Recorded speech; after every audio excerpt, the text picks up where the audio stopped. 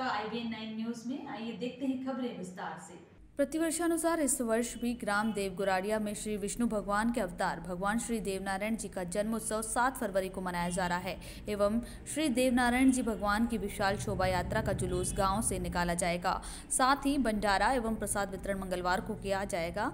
देवनारायण सेवा समिति धर्मेंद्र गुर्जर, बन्ने सिंह गुर्जर, लाड सिंह गुर्जर, रवि पाटीदार, नागेश पाटीदार, कमल सिंह गुर्जर, अनिल गुर्जर, करण सिंह गुर्जर, पंजाबा एवं समस्त ग्रामवासी उपस्थित रहे।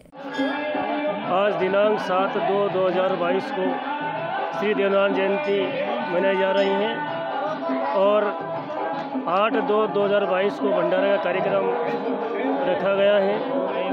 यहाँ पर देवगुड़ा डैम की विशेष बात यह है कि मंदिर देवनारायण भगवान के यहाँ पर ढाई किलो की ईट आज भी पानी में तैर रही हैं। लाखों श्रद्धालु यहाँ पर दर्शन के लिए अब देवगुड़ा डैम में पधारते हैं। और उनकी मनोकामना पूर्ण होती है। जय श्री देवान भगवान की जय। अभी के लिए इतना ही। लगातार खबरों के लिए बने रहिए आईबीएन न्यूज़ नाइन के साथ। नमस्कार।